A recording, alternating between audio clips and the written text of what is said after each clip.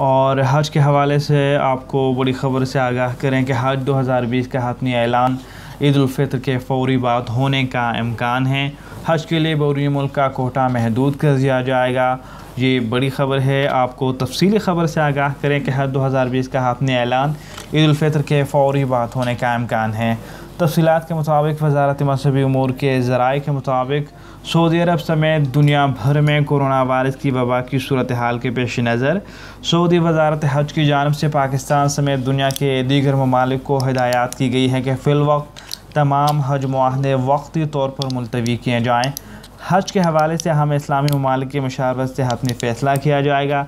ज़राए के मुताबिक सऊदी वजारत हज ने पंद्रह रमज़ान मुबारक को हज के हवाले से फ़ैसला करना था। ताहम अभी तक इस हवाले से कोई फ़ैसला और कोई ऐलान सामने नहीं आया है। सऊदी हुकूमत ने किस रमज़ान से ईदाफ़ितर के बाद आठ शवाल तक सरकारी छुट्टियाँ दे दी हैं।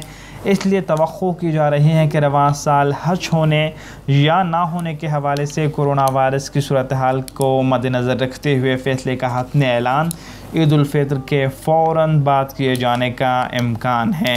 ज़राए के मुताबिक सऊदी अरब की हुकूमत की जानब से ये ऐलान सात शवाल को किए जाने का इम्कान है।